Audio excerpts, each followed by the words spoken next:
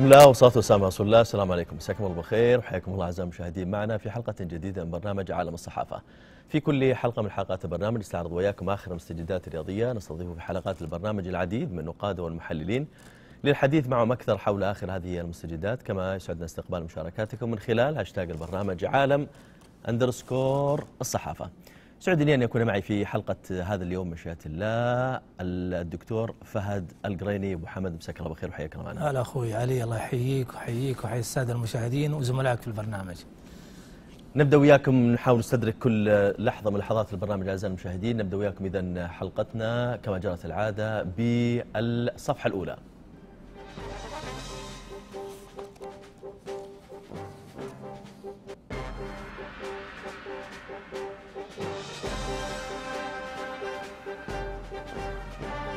هي صادرة من صحيفة النادي ونقرأ منها المنشطات التالية. المحكمة ترفض خروج الهاكر والإعلامي من الحبس. بدأت بمشاجرة وانتهت بتورتة. سامي يبدأ مشوار التصحيح بالشباب. أعضاء أحد تاجر يهايط على حسابنا.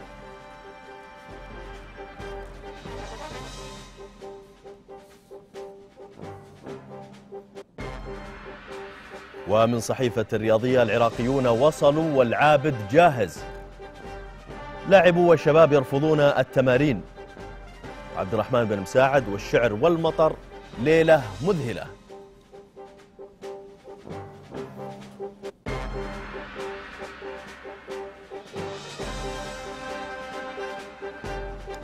من صحيفة النادي خطاب مسرب لقضية سوزا يعيد خلط الأوراق. قانوني الاتحاد ضحية أفسد صفقة.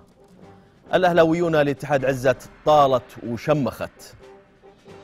والتذاكر الإلكترونية نهايتها مناقصة.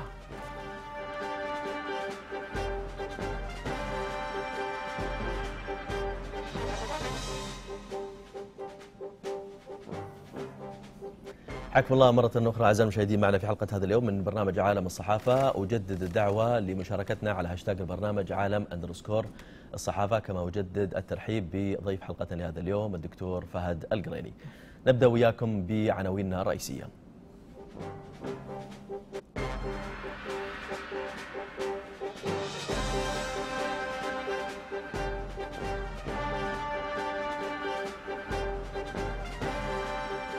والعنوان الرئيسي الأول صادر من صحيفة المدينة تحت عنوان احتفالية بالأخضر في المطار ومارفك يفتح صفحة العراق اليوم. الهولندي كفى اللاعبين برحلة أمس وكيال إصابة العابد لا تدعو للقلق. حرر الخبر الزميل أسامة البركان وذكر في تفاصيله أنه منح المدير الفني لمنتخبنا الوطني الأول السيد بيت مارفك لاعبي الأخضر راحة عن الحصة التدريبية المسائية أمس الجمعة وأتاح لهم الفرصة للخروج من المعسكر والالتقاء بأسرهم قبل أن يعاودوا الانتظام مجددا بالمعسكر يوم أمس. وكانت بعثة المنتخب قد وصلت صباح أمس الجمعة لمطار الملك عبد العزيز الدولي بجدة استعدادا للانتظام في المعسكر الإعدادي استعدادا للمواجهة المقبلة أمام منتخب العراق الثلاثاء المقبل. ضمن مباريات الجولة السابعة من التصفيات الآسيوية المؤهلة لكأس العالم 2018 وكان في استقبال بعثة الأخضر عضو الاتحاد السعودي لكرة القدم الأستاذ حمد الصنيع ومسؤولو الخطوط الجوية السعودية التي احتفلت بالمنتخب في الصالة الخاصة. من جهته طمأن المشرف العام على المنتخب السعودي الأستاذ طارق كيال الجماهير بشأن إصابة اللاعب نواف العابد قائلا إنها لا تدعو للقلق. وقال كيال لدى وصول بعثة المنتخب أن التشخيص المبدئي لإصابة العابد لا يدعو للقلق ولكنه سيجري المزيد من الأشعة الطبية خلال المعسكر لتحديد حالة إصابته بدقة.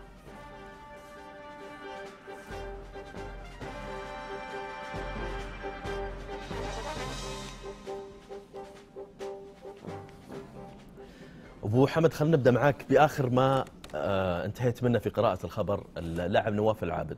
إحنا قبل الهواء إحنا كنا نتكلم عن لعيبة السوبر ستار وتأثيرهم. صحيح. هل هو مثل ما كان تأثير لعيبتنا سابقا خصوصا اللي شاركوا بالمونديال 94 ولا لا؟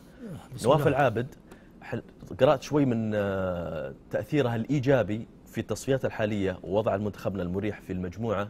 يقول لك ساهم 50% من النتائج الايجابيه لمنتخبنا سجل أربعة أهداف وصنع هدفين. هل لا سمح الله لو ما شارك في بقية المشاركات خصوصا العراق راح نخسر نواف العابد آه، بسم الله والصلاة والسلام على رسول الله. طبعا أنا يمكن أنا وياك قبل الهواء كنا نتحدث عن هذا الموضوع ولكن قبل ما أبدأ في هذا الموضوع أبارك للجماهير السعودية حصول المنتخب السعودي على نقاط آه، تايلاند. أعتقد أنها كانت نقاط مهمة جدا على الأقل في الاستمرار في المنافسة على التأهل إلى إن شاء الله كأس العالم. نواف العابد يعني يعني لا يشك يعني أحد أن اللاعب من اللاعبين المهمين جدا في المنتخب السعودي بل إنه قد يكون أبرز لاعب في المنتخب السعودي في الوقت الحالي. والدليل على ذلك الأرقام اللي ذكرتها من شوي يعني سجل أربع أهداف وصنع أيضا هدفين. ولكن المنتخب السعودي اعتقد عنده أيضا البديل الجاهز اللي ممكن أيضا يحل محل العابد ويقدم مثل ما يقدم نواف العابد. صحيح أن نواف مثل ما ذكرنا لاعب مهم ولكن أيضا المنتخب السعودي لا توقف على لاعب واحد واعتقد أيضا حتى الطريقة اللي يلعب بها الآن المنتخب السعودي لا ترتكز على لاعب واحد وهذه أعتقد أن أحد الإيجابيات اللي جات مع مارفك يعني الفريق يلعب كمجموعة وليس ك يعني لاعب تلعب مع المجموعة يعني في منتخبات تجد أنه لاعب تلعب مع المجموعة وفي منتخبات لا هي مجموعة من اللاعبين تلعب كمنظومة واحدة وتحقق النتائج ولذلك أنا أقول المنتخب السعودي يلعب كمجموعة وليس كلاعب تلعب حوله مجموعة. جميل. كان في حديث لرئيس الاتحاد السعودي كرة القدم الأستاذ عادل عزت مع صحيفة الرياضية ذكر فيه آه، أكثر من نقطة إحنا حابين نجي عليها آه، نقطة نقطة. تكلم عن مباراة العراق القادمة وأهميتها وخصوصا في ملعبنا. شوف كل مباراة في القادمة أنا أعتقد أن لها أهميتها يعني كل مباراة سواء مباراة العراق أو المباريات التي تليها. ولكن حتى نصل إلى المباريات الأخرى يجب أن نعطي الاهتمام الآن لمباراة المنتخب العراقي لأن أي تعطل سواء بالتعادل أو الخسارة لا قدر الله هذه ستعطل المنتخب السعودي وتقلل من حضوره في التأهل. قد توصله إلى المركز الثالث. يعني إحنا نقول الآن المنتخب الإماراتي تقريبا أعتقد إنه يعني بشكل كبير جدا ابتعد عن المنافسة على المراكز الثلاثة الأولى. ولكن المنتخب السعودي يفترض إنه يتأهل مباشرة لأنك أنت عندما تتأهل كملحق أيضا ستواجه مشاكل أخرى. لذلك أي خسارة للنقطة من النقاط القادمة قد تؤدي بك إلى المركز الثالث وهذا المركز الثالث أيضا سيسبب لك إشكاليات في الفترة القادمة. فأي نقطة ومن أهمها هي نقاط المنتخب العراقي. لأنك أيضا حتى في حصولك على نقاط المنتخب العراقي تضغط على المنافسين الآخرين اللي هو المنتخب الياباني والمنتخب الأسترالي. استمراريتك في الصدارة هذه أيضا تعطيك دفعة معنوية كبيرة جدا في المباريات المتبقية. فمباريات مباراة المنتخب العراقي أعتقد إنها أيضا مهمة جدا وحصول على النقاط الثلاثة أعتقد إنها أيضا مهمة وهي أعتقد المفتاح للتأهل إن شاء الله إلى كأس العالم. شلون نكسبها؟ خصوصا إذا ما حاولت تشحذ آه، الجماهير لحضورهم، إحنا نقول كما تعودنا منهم آه، جماهير جدة لكن كيف يكون تأثيرهم إيجابي جوا جوا الملعب؟ لابد يكون في تفاعل يعني لما تجي الملعب لابد يكون هناك تفاعل في الجماهير يعني أنت أيضا لما تحضر الملعب وتكون صامت تأثيرك حيكون محدود جدا. لما تحضر الملعب وتقلبها إلى طرب وسعه صدر أيضا حيكون تأثيرك محدود. لكن لما يكون هناك حماس داخل المدرجات أعتقد هذا بيساهم بشكل كبير جدا. أول شيء في تحفيز لاعبين المنتخب السعودي. والحاجة الثانية أيضا تضغط على اللاعب العراقي وتضغط أيضا حتى على الحكام المباريات. فبالتالي حضور الجماهير في مباراة العراق مهم جدا. حضورهم الإيجابي مهم جدا. ولذلك ندعو من من خلال برنامجكم. وأنا يعني يعني حكون متفائل كبير بشكل كبير جدا دائما جماهير جدة تكون حاضرة. فلذلك يعني توجيه الدعوة لهم هي مجرد تحفيز ولكن متأكد إن إن شاء الله الجماهير السعودية في جدة حتحضر إن شاء الله بشكل كبير جدا وسيكون تفاعل إيجابي في المباراة وإن شاء الله حنبارك لأنفسنا إن شاء الله في الله. يوم الثلاثاء الجاي القادم بحصول المنتخب السعودي على الثلاث نقاط. إحنا ما زايد على العدد الجماهيري الكثيف في جماهير جدة خصوصا في استاد الجوهرة لتوفر كافة كافة الإمكانيات للحضور الجيد، لكن السؤال المهم هنا الآن جمهور جدة هل نطلق عليه جمهور رعب يساهم مثل ما تفضلت ضغط على الحكام الضغط على لاعب الفريق المنافس والضغط على لعيبتك انت كذلك عشان يأدون أفضل مستوى. مو الضغط هل هم مرعبين؟ تحفيز اللاعبين السعوديين. تحفيز مثلا اي تحفيز اللاعبين السعوديين مهم جدا المباراة القادمة. وهو إحنا تعودنا من اللاعبين السعوديين عندما يلعبون في جدة يحضر بشكل كبير جدا. يعني شوف كل المباريات اللي قيمت في جدة كان تاثير الجماهير واضح على لاعبي المنتخب السعودي. وواضح أيضا حتى على الفريق المنافس. يعني تجد مثلا مباراتنا أمام المنتخب الإماراتي على ملعب الجوهرة كان المنتخب السعودي متعادل في الشوط الأول. في الشوط الثاني الضغط الجماهيري والتحفيز اللي حصل عليه المنتخب السعودي أدى إلى ارتفاع مستويات مستوى المنتخب السعودي وأيضا ضغط على المنتخب الإماراتي. عندما سجل الهدف الأول انهار المنتخب الإماراتي تماما وسجل المنتخب السعودي هدفين آخرين. أيضا في مباراتنا مع أستراليا كان تحذير الجمهور كبير جدا في آه، حصول على نقطة من المنتخب الاسترالي القوي على ملعب الجوهرة. كل هذه المعطيات نعتقد أنها بإذن الله في مباراه العراق ستكون حاضرة وسيكون إن شاء الله الدعم الجماهيري بإذن الله يعني قوي ومحفز وأعتقد إن إن شاء الله المنتخب السعودي سيتجاوز بإذن الله بمشيئه الله تعالى، إحنا وقت ما نقول دكتور الأعزاء المشاهدين الكرام إنه مباراة العراق القادمة مهمة لأنه إحنا مثل ما عارفين باقي العراق وباقي أستراليا وباقي الإمارات وباقي اليابان, اليابان نعم. العراق واليابان هذه راح تكون عندنا في جدة. صحيح. أستراليا والإمارات راح تكون في ملعب. خارج نعم. العراق إحنا محتاجين 21 نقطة من أصل بقيه النقاط. إحنا الآن معنا 13 13 نقطة. نعم. زين. إذا فزنا مع العراق راح يكون معنا 16 16 نقطة. بيبقى لنا خمس نقاط من أمام أستراليا الإمارات واليابان. نقدر نحصل على خمس نقاط شوف بغض النظر عن بقية المنتخبات يمكن الارقام تكون صحيحة لكن أيضا ترى هذا يعتمد بشكل أساسي على نتائج الفرق الأخرى قد يتأثر الفرق الأخرى. لا هذا يعني بغض النظر عنهم إيه دكتور. قد تت... يعني أنا أقصد إنك قد تتأهل ب 19 نقطة قد تتأهل ب 20 نقطه قد لا تتأهل ب 21 نقطة يعني قد لا تتأهل ب 21 نقطة ولكن قد أيضا تح... يعني تتأهل ب 20 نقطه هذا كله يعتمد بشكل أساسي على المباريات الفرق الأخرى المنافسة جميل المنتخب العراقي بس المنتخب الياباني والمنتخب الأسترالي بشكل حلو. أساسي. أبي أبو حمد الآن إذا قلنا العراق إن شاء الله ضمناه وخذ 16 نعم. 16 نقطة. نبي خمس نقاط من أمام أستراليا والإمارات واليابان. نقدر ناخذهم ولا نبي خمس ودي ناخذ تسع كلها مو بس ست خمس خلونا خلينا واقعيين قدر المستطاع. شوف يعني شوف كل نقطة بتكون صعبة جدا. يعني كل حصول على ثلاث نقاط بيكون صعب جدا. لكن أيضا يعني ثقتنا في لاعبين المنتخب السعودي ومسؤولي عن المنتخب السعودي أنا أعتقد أنها هي محفز لنا يعني بالحصول على العدد من النقاط اللي ممكن يأهلنا إن شاء الله مباشرة. أيضا حتى لا ندخل في عملية مثل ما قلت لك ملحق إحنا نسعى ان نتأهل مباشرة سواء في المركز الأول أو في المركز الثاني. المنتخب الياباني الآن إحنا وياه ماشيين مع بعض. ونبي نلعب في أرضهم لا إحنا هنلعب مع اليابان في, في أرضنا صح في, في, في الدمام أعتقد إنها في الدمام. فلذلك اليابان أيضا يعني ماشية معنا في نفس الاتجاه. اليابان مبارياتها المتبقية حتكون أكثرها على ملعبها. واستراليا أيضا حتكون مبارياتها على ملعبها. يعني في الغالب حتكون على ملعبها. ف يعني مسألة إنهم حيحصلوا على النقاط أنا أعتقد إنها واردة يعني إنهم يحصلوا على نقاط المباريات القادمة. فلذلك لا على المنتخب السعودي أن يحصل على كل نقطة في المباريات القادمة. يسعى إلى الكسب وليس للتعادل. يعني مباراة العراق مهمة ما ذكرنا. الحصول على ثلاث نقاط آه، سيصيد رصيدك إلى 16 نقطة. ستقترب كثيرا من التأهل إلى الأولمبياد أو المونديال.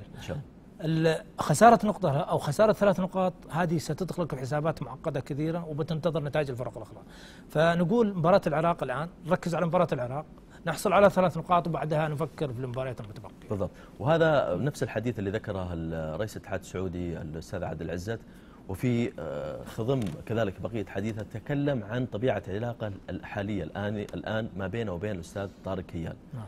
أنت كتنبؤاتك كإعلامي مخضرم في المجال الإعلام، هل تتصور إنه في شيء الآن ما بين آه، رئيس الاتحاد السعودي وبين طارق كيال اللي كان له بعد الله سبحانه وتعالى جهد يذكر فيشكر ولا أدل إلا أنه النتائج الإيجابية من وقت انضمامه للمنتخب السعودي.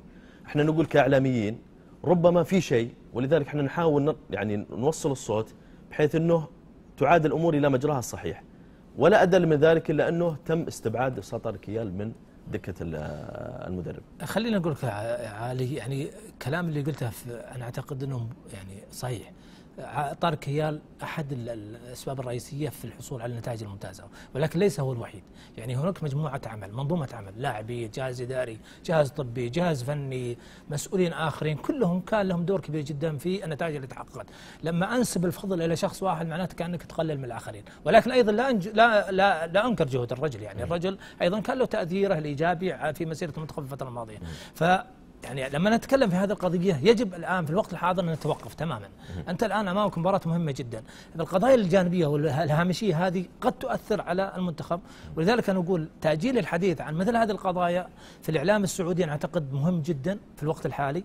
نركز بشكل أساسي على مباراة العراق. نترك كل القضايا الجانبية. نقف جميعا خلف المنتخب السعودي. حتى على الأقل تنتهي مباراة العراق. بعدها لكل حادث حديث. ممكن تطرح مثل هذه الأمور في الإعلام بعد ما تنتهي مباراة العراق. لأن بيننا وبين المباراة الأخرى اللي بعد مباراة العراق أعتقد في حدود ثلاثة شهور.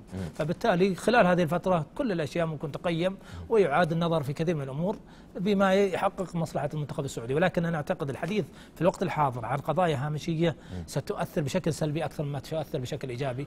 وجوده على دكة البدلاء أو على في المنصة لا يقلل من جهود الرجل. ولكن أيضا لا نعطيها الحجم الكبير أو الاهتمام الكبير حتى لا تؤدي أو لا تؤثر سلبا على مسيرة المنتخب في مباراه العراق بالذات. هو نفس كلامك هذا بالضبط لكن بعبارات أخرى ذكرها الأستاذ عادل عزت قال إنه إحنا نحاول قدر المستطاع نبعد اللاعبين صحيح. عن الإعلام السلبي صحيح. إذا كان ما هنالك في بعض الإعلام يقول لك يخوض في بعض المواضيع السلبية. لكن ليش تم إثارة موضوع الأستاذ طارق كيال؟ الآن الجميع يتحدث عن دور الأستاذ طارق كيال ويشبه بشكل ولا بآخر مثل دور صاحب السمو المرحوم الأمير فيصل بن بن فهد. إحنا عندنا لعيبة يتأثرون بالجانب النفسي ولا نقدر ننكر الشيء هذا. صحيح. في جوانب في جوانب كثيرة في أدائهم. فنقول حضور طارق كيال على الدكة هذه بعض الجوانب اللي تخفى على مارفك جوانب النفسية. فلذلك هو يكم يؤدي الدور مثل ما تفضلت قبل شوي التكاملي مع الدور الفني أستاذ مارفك. وليش تم الحديث عنه الآن؟ لأنه نقول إحنا باقي مباريات مهمة باقي معتركات مهمة. نبغى يؤدي طارق كيال دوره حتى على الدكة ولا إيش رأيك؟ شوف أول شيء معلومة ذكرتها المقارنة بين الأمير فيصل بن فهد الله يرحمه وطارق كيال أعتقد فيها شيء من يعني من المبالغة الكبيرة جدا يعني إحنا نعرف الأمير فيصل الله يرحمه يمكن هو باني الرياضة رياضة كرة القدم الحديثة في المملكة بل الرياضة في المملكة العربية السعودية لا هو من جانب النفسي أيه مع اللاعبين لكن فقط. لا بالزاوية هذه فقط. لما أقارن بين الأمير كقامة الله يرحمه وكإنجازات وكعمل لا, لا أعتقد إن في شخص في الوقت الحاضر يمكن مقارنته بالأمير فيصل بن بعد رحمة الله عليه. ما زايد يا أبو أيه حمد؟ أنا شوف لي الزاوية هذه أنا بس. خليني بس الزاوية هذه. بقول لك إياها. طيب لما نجي لطارق كيال أنا قلت لك الرجل له إيجابياته في وجوده على دكة البدل أو حتى خارج لكن ما دام القرار اتخذ الآن إنه أو هو نفسه أنا سمعت له حديث إعلامي البارح. يعني هو يقول لك سواء وجدت على الدكة أو خارج الدكة كلها واحدة. يعني دوري حيكون هو نفس الدور نفس الدور. فبالتالي لا نعطي الأمور أكثر من حجمها حتى لا نؤثر على مسيرة المنتخب. وجوده الآن خارج أو بعيد عن الدكة ما أعتقد إنه يلغي دوره، يعني هناك له دور أدوار خارج يعني قبل المباراة، بعد المباراة، أثناء المباراة، بين الشوطين، كل هذه الأشياء ممكن يقوم فيها بدوره. وجوده على الدكة قد يكون يعني من الجانب النفسي ممكن يعني يعني يعطي مثلا يعني, يعني بعض الأمور النفسية، ولكن إحنا شفنا مباراة تايلاند. كان الرجل موجود على خارج الدكة والمنتخب السعودي فاز يعني فبالتالي هذا يلغي مقولة إن الرجل لما يكون موجود على الدكة ممكن يحفز الناس جميل. ممكن يعطي يعني دفعه معنويه للاعبين فأنا أقول يعني ما دام المدرب أو إدارة المنتخب اتخذت هذا القرار يجب أن نحترم هذا القرار وننسى هذه الأمور الهامشية الآن الأخضر. حتى تنتهي مباراة العراق. إن شاء الله ان أمور هامشية مثل ما تفضلت إن شاء الله تبقى أمور هامشية نعم. وحنا معاك الأخضر في كل القرارات اللي أخذتوها وخصوصا إنه إلى الآن ماشي إن شاء الله صح. نعم وإن شاء الله يستمر صح وإن شاء الله نحتفل جميعا بالتاهل للمونديال. على هاشتاج البرنامج الأعزاء المشاهدين الكرام مشاري العتيبي يقول اسأل ضيفك. ذكرت صحيفة الرياضية اليوم أن لعيبة الشباب رفضوا التدريبات حتى استلام رواتبهم المتأخرة. ما صحه ذلك؟ جايين على المحور هذا لاحقا. نجيب القريات يقول هل صحيح الفيفا قد يحرم لاعبي الاتحاد المشاركه المنتخب هذا كذلك جايين عليه. آه، كذلك هذا سؤال فيما يتعلق محور الشباب من ذكريات. جايين عليه آه، محور الشباب.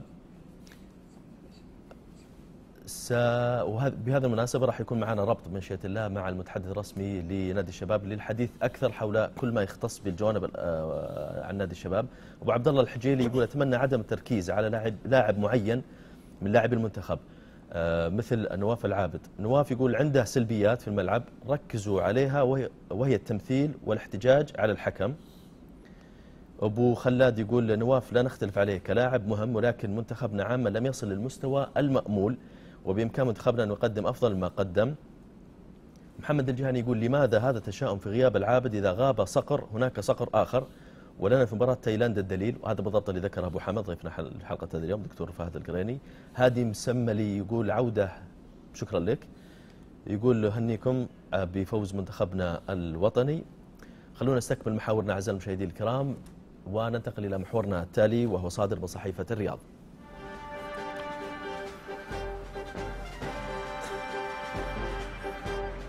تحت عنوان عادل عزت لوائح اتحاد الكرة تحتوي على الكثير من الثغرات. وقد أجري الحديث مع الأستاذ عادل عزت مع صحيفة الرياض وذكر مما ذكر على أنه هنالك الكثير من الثغرات على في اللوائح للمنتخب. فقد دعا رئيس الاتحاد السعودي لكرة القدم سعد العزت في أول حوار صحفي عبر صحيفة الرياض بعد انتخابه رئيس الاتحاد خلفا لأحمد عيد. دعا الجماهير السعودية بالتوافد إلى ملعب مدينة الملك عبد الله بن عبد العزيز في محافظة جدة الثلاثاء المقبل لمساندة الأخضر في مواجهة الحاسمة مع العراق.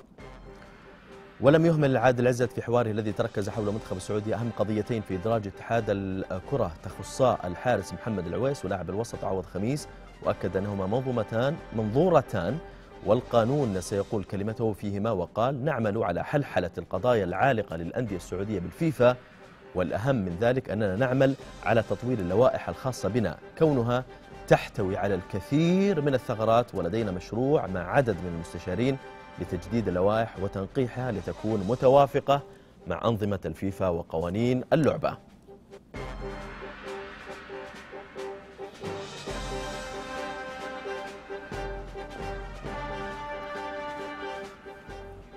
دكتور فهد تعليقك؟ يقول أستاذ عزت إنه عندنا كثير من الثغرات في لوائحنا. شوف أي نظام يا علي أو أي لائحة بعد التطبيق تظهر هناك بعض الثغرات. وهذا دور اتحاد كرة القدم يعني سد هذه الثغرات. ولذلك الرجل لما ذكر هذا الكلام لا يسقط على الناس تعتقد إنه يسقط على الاتحاد السابق.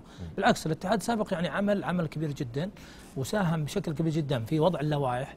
هناك بعض الثغرات تظهر من خلال الممارسة ومن خلال التطبيق. دور الاتحاد الجديد هو سد هذه الثغرات وتطوير هذه اللوائح وهذا ما يعمل عليه الآن الاتحاد الجديد كما ذكر رئيس الاتحاد.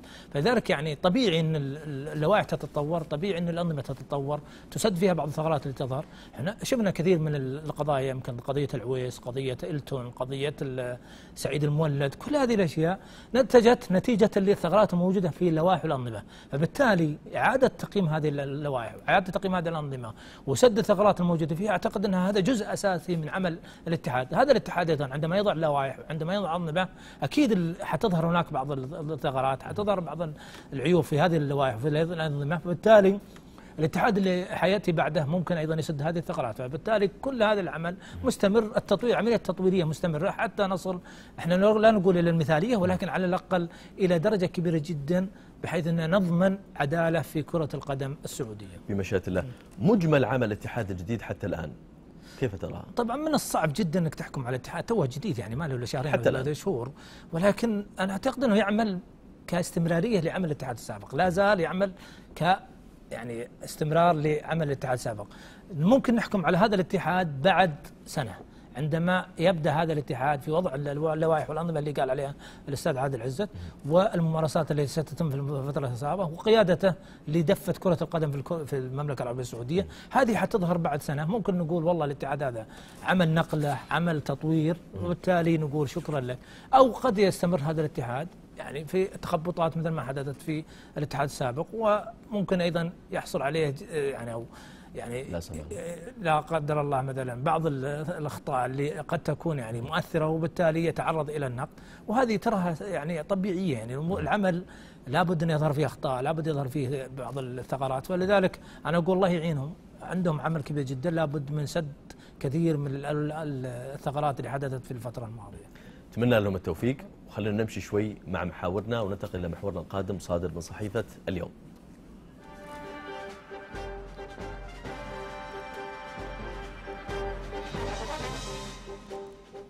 تحت عنوان رقم قياسي فريد للسهلاوي ب 27 هدفا. وحرر الخبر الزميل علي السلمي وذكر فيه أنه ابتعد الأخضر في صدارة المجموعة الثانية في تصفيات الدور الحاسم المؤهلة إلى نهايات كأس العالم. وفيما يتعلق بإذن اللاعب الصعباوي استعاد إذا محمد السهلاوي مهاجم الأخضر الذي توج بجائزة أفضل لاعب في المباراة صدارة الهدافين بعد أن سجل هدفا في مرمى تايلاند. وهو الأول له في تصفيات الدور الحاسم ليرفع رصيده إلى 15 هدفا في التصفيات الحالية وبعد هدفه الذي سجله في تصفيات 2014 رفع السهلاوي رصيده من الأهداف في تصفيات كأس العالم إلى 16 هدفا وهو نفس الرقم المسجل باسم النجم الدولي السابق سامي الجابر.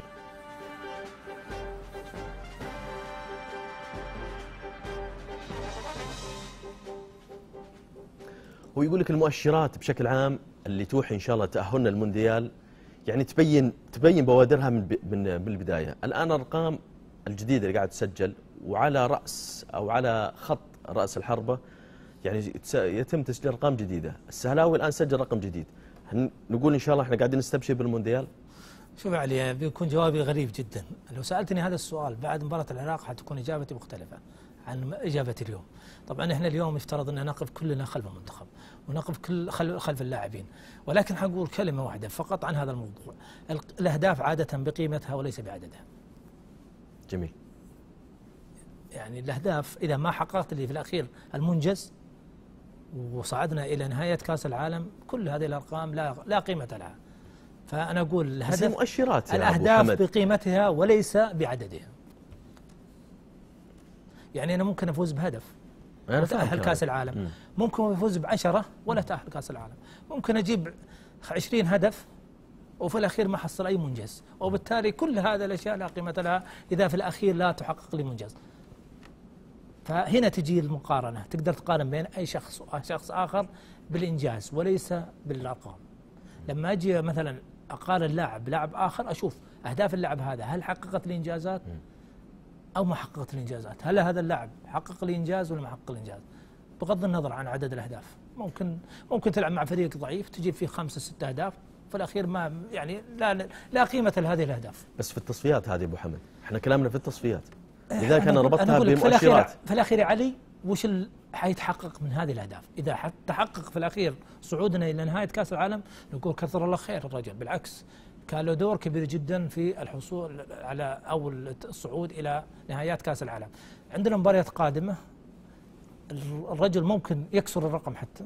إذا كسر هذا الرقم وانجز يعني وحقق المنتخب السعودي الإنجاز والوصول إلى نهاية كأس العالم نقول خلاص هذا رقم يعني قياسي ومنجز. يعتقد, يعتقد إنه يعني لا ينكر أحد وبالتالي نقول والله كثر الله خيرك محمد السهلاوي أنت وزملائك في المنتخب. حققتوا الأهم اللي هو المنجز وأنت حققت أيضا جانب مهم في مسيرتك الشخصية وهو الحصول على رقم قياسي في عدد الأهداف في التصفيات المؤهله إلى كأس العالم. طيب إحنا كلامنا مستمر حول لعيبة المنتخب. سننتقل الآن إلى حديث عن لاعب آخر نجم آخر كذلك في المنتخب السعودي وحابين نسمع كذلك تعليقك عنه. ننتقل إلى محورنا التالي.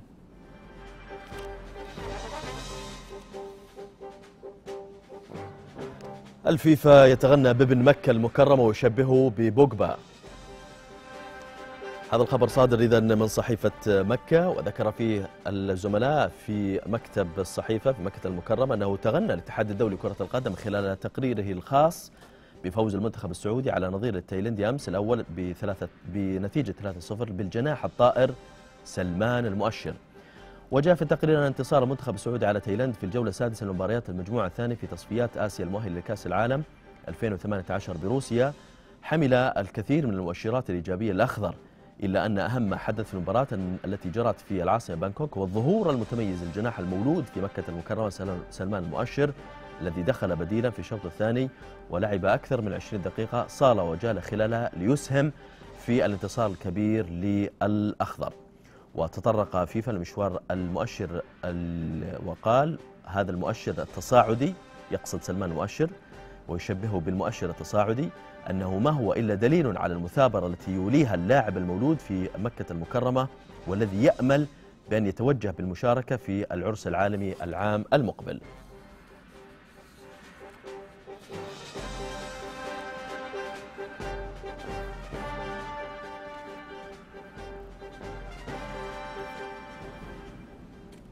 سلمان المؤشر شوف الكلام اللي قلته عن نواف العابد وقلته عن السهلاوي حقول عن سلمان المؤشر في الأخير ما هي المحصلة النهائية لما يعني حق الشخص داخل الملعب أو المساهمة اللي ساهم فيها داخل الملعب. المؤشر إحنا شفناه دخل 20 دقيقة.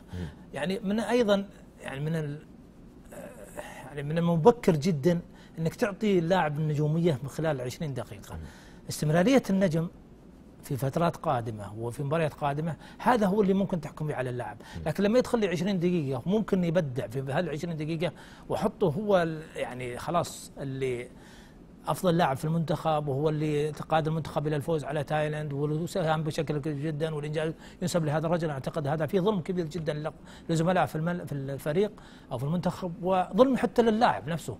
لأن اللاعب أنا متأكد أن اللاعب يطمح أنه يقدم أفضل مما قدمه في مباراة تايلاند يطمح أنه يكون أساسي يعني الآن هو لا يلعب أساسي في المنتخب هو لعب فقط 20 دقيقة فبالتالي يعني لما تشجر ال- الإنجاز إلى شخص واحد أنا أعتقد فيه ضم كبير جدا للشخص نفسه وللمجموعة اللي تلعب معه، لذلك إحنا كلنا نقول المنتخب السعودي هو منتخب واحد وكل من يمثل هذا المنتخب السعودي هو نجم. وهذه النجومية ستكتمل إن شاء الله إذا تحقق الإنجاز المهم وهو الوصول إلى نهايات كأس العالم. بمشيئة الله تعالى آه، نبي ننتقل للمحور التالي لكنه هي بس آه، ومضة بسيطة على قولتهم هو يقول لك ال- أي منجز سيتحقق له خطوات استباقية صحيح. تستشرف منها أنه بمشيئة الله راح يتحقق صحيح. الآن مثل مؤشر قاعد يح- يحقق إنجازه ال- الجميل على مستواه الشخصي السهلاوي كذلك كذلك العابد كل هذه المعطيات أو كل هذه المنظومة اللي مثل ما تفضلت إحنا على قد ما إحنا بنفس الوقت آه، مستحيطين نأخذ الحيطة آه، بحيث إنه ما يكون أي تخاذل لا سمح الله، لكن بنفس الوقت ما يمنعنا ما يمنعنا إنه إحنا نكون متفائلين. صحيح. أنا أقول لك اياه بالعكس أنا أقول يعني لما أثني على مؤسسه المؤشر هذا لا يقلل من جهود اللاعبين الآخرين. يعني إحنا نشوف المنتخب السعودي لما تجي تقيم السبع مباريات اللي راحت أو ست مباريات اللي راحت تجد المؤشر لم يلعب إلا في مباراة مباراتين. بالرغم ان هناك لاعبين آخرين لعبوا كل الست مباريات. يعني ليه أنا مثلا أجي أعطي الأفضلية لشخص أو لاعب واحد وأترك البقية؟ طيب تعال الان عمر هوساوي مثلا. من بداية التصفيات يقدم مستويات متميزة. صحيح. المسيليم ياسر المسيليم صحيح. يقدم مستويات متميزة. سلمان الفرج. أنا ما أبغى أعدد يعني أقول كل لاعبي المنتخب كل واحد ساهم. حسن معاذ في الفترة الماضية كان له دور كبير جدا. فمن الصعب إني يعني أسند الفضل لشخص واحد واترك البقيه، صحيح المؤشر لاعب مؤثر ولاعب مهم ولاعب نجم ولاعب بارز ولكن اللاعب إذا ما كان له دور واضح في المنتخب وله دور في النتائج اللي تحققت في كل مسيرة المنتخب لما يجي يلعب لي مباراة واحدة وانسب الفضل له ترى هذا ظلم له وظلم للآخرين. ننتقل هذا صحيح. نس نتمنى توفيق مشيئة الله تعالى لمنظومة منتخبنا الوطني اللي مثل ما عبر عنها دكتور فهد القرني هو يشكل الآن منظومة وربما تقريبا هذه كرة القدم الحديثة صحيح. الآن نتكلم عن لعب عن منظومة متكاملة وأنا قلت لك ترى ترى يعني في بداية الحلقة في منتخبات تلعب بشكل فردي لا كمجموعة وفي منتخبات تلعب على مجهودات ترتك- فردية ترتكز على لاعب آه. مكمله زي. الحاصل بالكرة زي مثلا اللاتينية زي مثلا ميسي في الأرجنتين ال- كل الكرة أي نعم. اللاتينية بدون لما تجي تشوف منتخب الأرجنتين الم- المجموعة كلها ترتكز على هذا اللاعب آه. لكن لما تجي تشوف في منتخبات أخرى تقول من لا تستطيع أن تحدد من الأوروبية هو غالبا لا تستطيع أن. تحدد من هو النجم. صحيح. كلهم نجوم تقريبا. والمنتخب السعودي من هذه المنتخبات. كل الأمنيات مشيئة الله تعالى إلى استمرار المنجزات. ننتقل وياكم إلى محورنا التالي وصادر بصحيفة الرياضية. وتحت عنوان اجتماع شرفي اتحادي يكشف ملفات قضايا الفيفا. وحرر الخبر الزميل نجيب الجداوي وذكر فيه أنه تقرر أن يعود المهندس حاتم بعشر رئيس مجلس إدارة نادي الاتحاد إلى محافظة جدة بعد أن وقف على جميع القضايا على ناديه لدى الاتحاد الدولي كرة القدم الفيفا إثر زيارته لمقر الاتحاد في العاصمة السويسرية زيورخ برفقة ياسر المسحل نائب رئيس الاتحاد السعودي لكرة القدم وماهر عبد الفتاح عضو مجلس إدارة النادي والمستشار القانوني للنادي. وتشير المصادر القريبة إلى أن باعشن سيعقد اجتماعا مع الشخصيات الاتحادية من أجل إطلاع إطلاعهم على القضايا الشائكة التي وجدها لدى الجهات المختصة في, فيفا ضد ناديه ويرغب في أن يكون أعضاء الشرف على آه، على اطلاع على كل ما يتعلق بالنادي من أجل وضع الحلول المناسبة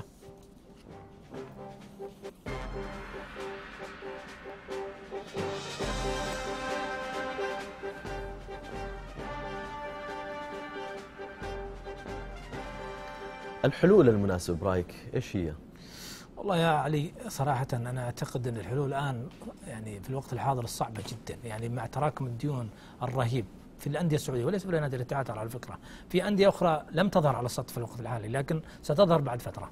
يعني ليس فقط نادي الاتحاد هناك مشاكل مالية في كثير من الأندية السعودية بل الأندية الجماهيرية والأندية الكبيرة كلها تقريبا تعاني من مشكلة الديون. لذلك أنا يعني تعلمت كثيرا مثل أن الاهتمام فقط ركز على الاتحاد وترك انديه أخرى مثل نادي الشباب، الآن نادي الشباب عنده أيضا مشاكل مالية. جايين عليه الشباب. إي لا ولأنه بس لأنه يعني الاتحاد هو لابد فريق تعرض للضربات. إي بس لابد أن هيئة حرم من الرياضة- ثلاث نقاط. بس لا- لابد أن هيئة الرياضة منع الآن من التسجيل. علي. وربما سمح الله لا سمح الله بيهبط هي ممكن الشباب بعد أيضا يسلط على عقوبات مثل الاتحاد. جاي. فلذلك شاء الله أنا ما أقول يجي هيئة إن شاء- الله ما يجي. هيئة الرياضة ممثله بالأمير عبد الله مساعد يجب أن تقف على مسافة واحدة من جميع الأندية.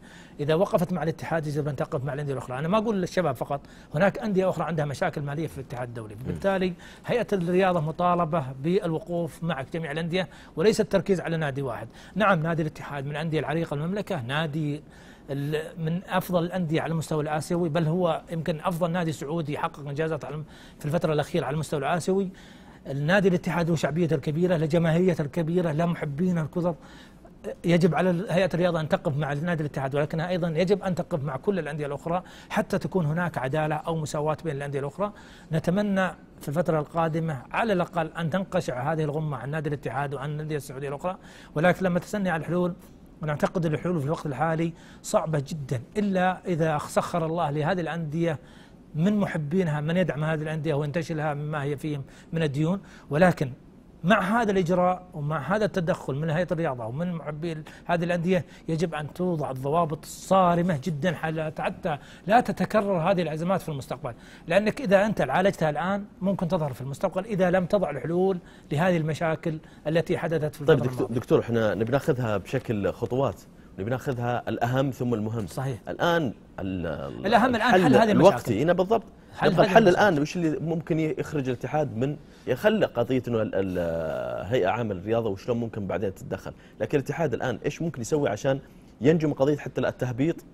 شوف أو يستدرك الاستئناف أنا لو- أنا لو مكان- له، لو مكان بحيث إنه يقدر بعدين يسجل في فترة أنا لو مكان الاتحاد أو في مسيري الاتحاد في مسيري الاتحاد هناك حلول كثيرة جدا منها منها هو حلول في على المدى القصير ومنها ما حلول على المدى القصير. على, المدى. على القصير لابد من تدخل محبي نادي الاتحاد من أعضاء الشرف لابد أن على الأقل يضخ يضخ مبلغ مناسب هذا ممكن؟ بحيث إيه أنا أعتقد نعم محبي الاتحاد كثر في على الأبواب يا أبو إيه واتوقع حمد. اسمع وأتوقع في الفترة القادمه يعني حتحل هذه القضايا ولكن كيف ستحل لا أعلم لكنها ستحل بإذن الله إن شاء الله ستحل سواء الاتحاد أو الأندية الأخرى. ولكن ال- الجانب الأهم يا علي ماذا سنفعل حتى نتلافى مثل هذه المشاكل في المستقبل؟ هذه أهم نقطة. الآن الوقت الحاضر يجب أن نحل هذه الإشكاليات. أنا أقول لك أحد أنت سألتني عن الحلول. هذا الحل على المدى القصير يعني هذا المدى الطويل يجب أن تتعامل باحترافية نادي إدارة نادي الاتحاد.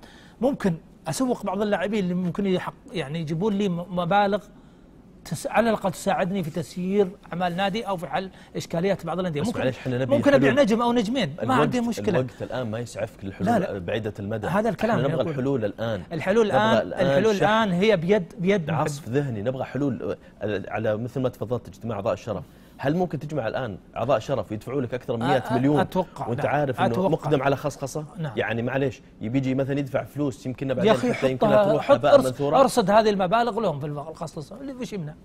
أرصد هذه المبالغ لهم في الخصخصة. خلها خلها تعتبر جزء من مساهمته أو من من حقوقه في نادي الاتحاد في المستقبل. خلها كأنه شاري أسهم في نادي الاتحاد بهذه المبالغ وارصدها له في المستقبل.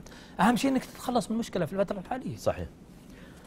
الله المستعان والله أي والله. الله المستعان وإن شاء الله الأمور يعني. الأندية السعودية. للأسف كلها كلها الآن بدون استثناء أنا أتكلم حتى عن الأندية الكبيرة يعني المعروفة كلها تعاني من هذه المشكلة هو علاج لي. وكلها تحتاج إلى حلول عاجلة وسريعة حتى لا تتعرض مثل ما تعرض لها نادي الاتحاد أيضا نقطة مهمة جدا طيب معلش الحل لابد- العاجل لابد معليش، إيه؟ الحل العاجل لجميع الأندية اجتماع المحبين يدفعون يتقطون هذا الحل العاجل الوحيد هذا الحل اللي ممكن ولا خصخصة؟ في الوقت الخصخصة طبعا إحنا ماشيين نعجل فيها. فيها. إحنا ماشيين لا فيها نبي نعجل فيها بس أنت الآن لما تسمع تصريح الأمير عبد الله مساعد قبل يومين أو ثلاثة في أحد البرامج الرياضية الآن هو يقول لك إحنا لا نستطيع أن نخصص أندية عليها ديون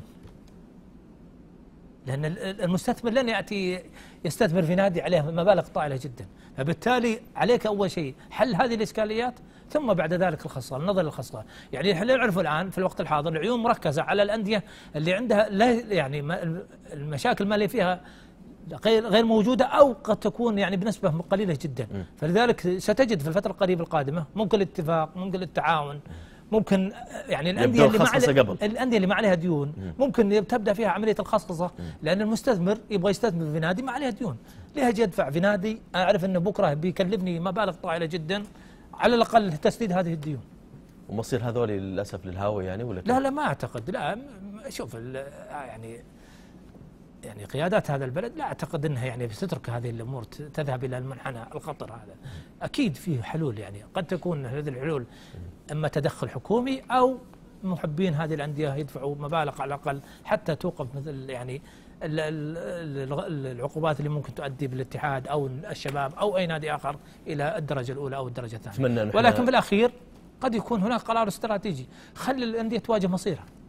خلي خلي يواجه مصيرها. ترى أمريكا يوم إيه. انها تعرضت في بداية حقبة استلام أوباما إلى مشاكل اقتصادية أعلنت إفلاس علشان تتهرب من إيه. الضرائب وتتهرب قد, من قد يكون نعم. هل ممكن الأندية حل قد يكون؟ تعلن إفلاسها ما أقدر أدفع هذولي. بس عقوب عقوبات ستفرض شوف عليها. شوف يعني هذا هذا أعتقد إنه قد يكون مستبعد ولكن أحد أحد الحلول اللي ممكن تحدث في المستقبل إنه ممكن يقول لك خلي الأندية هذه تواجه مصيرها خليه خليه يفلس. خليه يفلس خليه يرجع درجه ثانية يبدأ من جديد. أو ننشئ كيان آخر ندعم كيان آخر غيره؟ لا لا خليه هو يبدأ من جديد. يعني إحنا شفنا في جوفنتس الايطالي وهو من أعرق الأندية الإيطالية ومن أعرق الأندية الأوروبية نزل إلى الدرجة الثانية. مرسيليا كذلك. مرسيليا مرسيليا أحد نفس ال- الشيء. بارما بارما الإيطالي تم يعني تصفيته وإفلاسه. ممكن هذا؟ ممكن يصير؟ ممكن يحدث. أنت في عالم الاحتراف ممكن. يترك تترك الأندية هذه لمصيرها هي الصدمه في البداية حتكون قوية جدا على محبي هذه الأندية. ستكون والله دش صدمة بارد. قوية جدا. دش بارد. ولكنها يعني في الأخير قد تكون هي الحل الأخير الحل الوحيد الحل الأخير إن شاء الله ما يصير الحل هذا إن وإن شاء الله الله يكون. محبين نادي مثل ما تفضلت. انه ما يتركون أنديتهم صحيح. تهبط إلى مستويات مثل هذه ننتقل وياكم إلى محورنا التالي صادر من صحيفة الجزيرة تحت عنوان بالعمري يواصل غياب ووفاق سطيف يطالب المبالغ المتبقية الخبر حرر الزميل سلطان الجلعودي وذكر فيه أنه واصل المحترف الجزائري في فريق الشباب جمال بالعمري غيابه عن الحضور إلى الرياض بعد أن أعطى أكثر من موعد الوصول في الأيام الماضية. ولم تعلق الإدارة الشبابية حول هذا الغياب والتزمت الصمت بينما تلقى النادي خطابا أمس من إدارة وفاق سطيف تتطلب من خلاله سرعة سداد المستحقات المتبقية من صفقة انتقال اللاعب جمال بالعمري. على صعيد آخر منح المدير الفني للفريق الكروي الشباب سامي الجابر اللاعبين راحة عن تدريبات اليوم أمس على أن يستأنف الفريق مساء اليوم السبت تدريباته على استاد الأمير خالد بن سلطان بالنادي.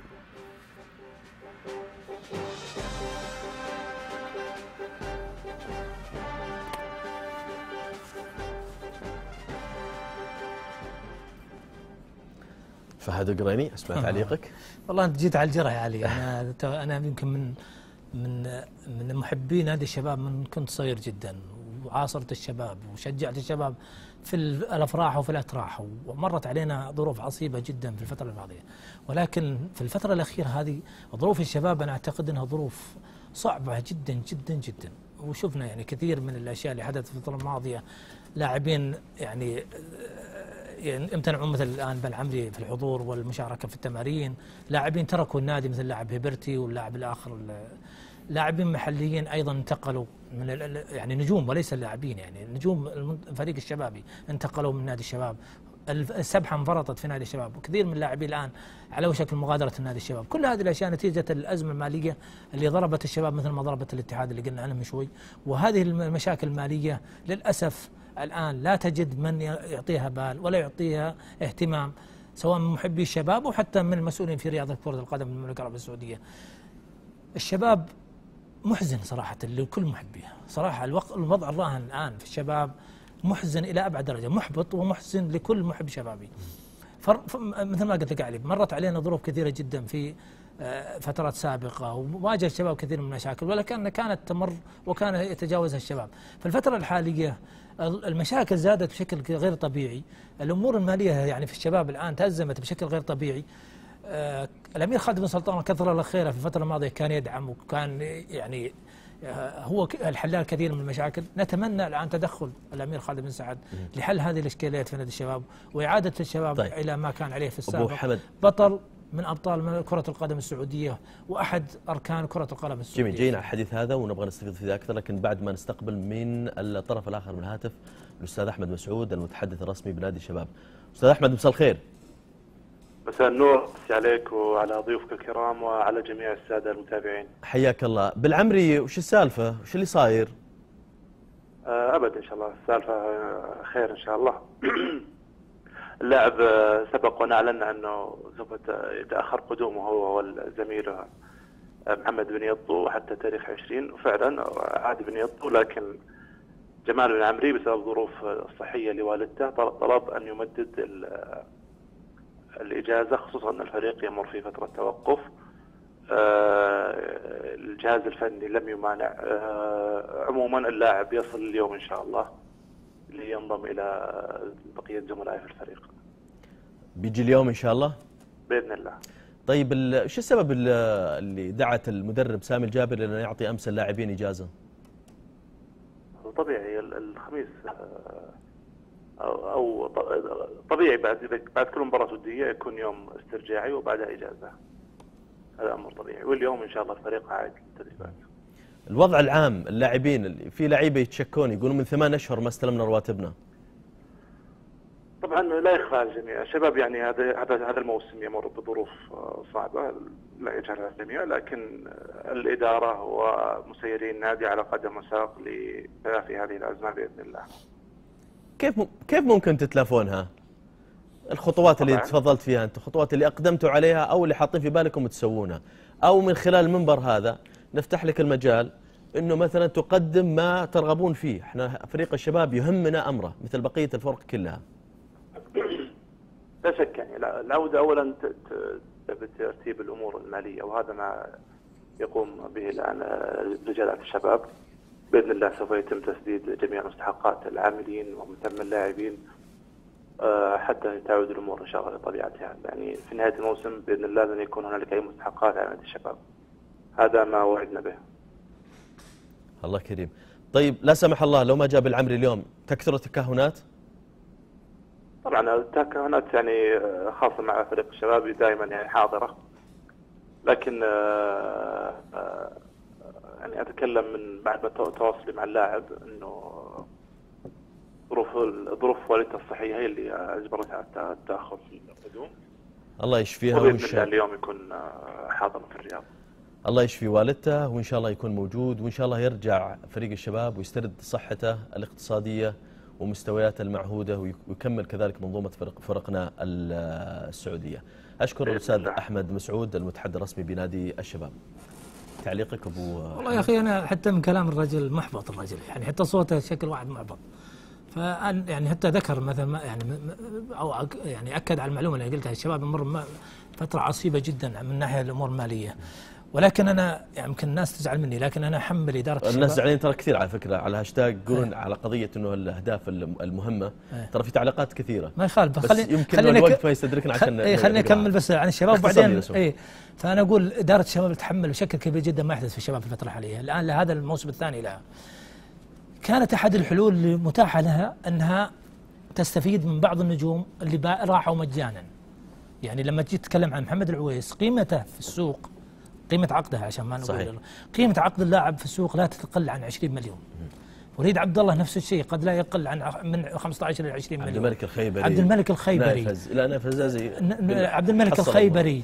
في لا عبد يعني كثير من اللاعبين اللي ممكن تسوقهم وتستفيد من مبالغ وتدير أمورك المالية بشكل احترافي. ولكن للأسف إدارة الشباب في الفترة الماضية لم تستطع أن تعمل على هذا الملف بشكل صحيح وافتقدت الاحترافية في هذا الملف. كان بإمكانها تتدارك هذه الأمور وتسوق عقد اللاعبين محمد العويس ونايف ووليد عبد الله وعبد الملك الخالبي وتحصل على مبالغ تفكها على الأقل من أزمتها المالية الحالية اللي موجودة في الاتحاد الدولي، كان بإمكانها مثلا لو سوقت عقد العويس أنها كل مشاكلها في الاتحاد الدولي تنتهي.